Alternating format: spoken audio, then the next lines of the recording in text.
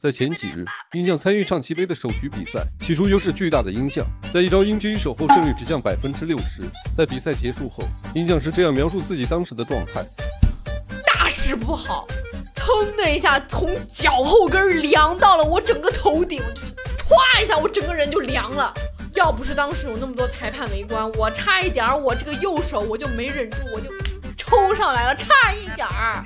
就连鹰将都没想到的是，这局比赛的棋谱受到了不少顶尖棋手的围观。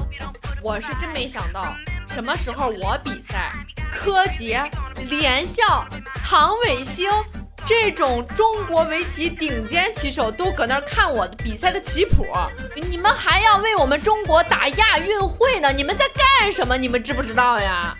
亚运会上，直接把鹰将的棋放在小生面前反复播放，直接进行一个数据库的污染。柯洁。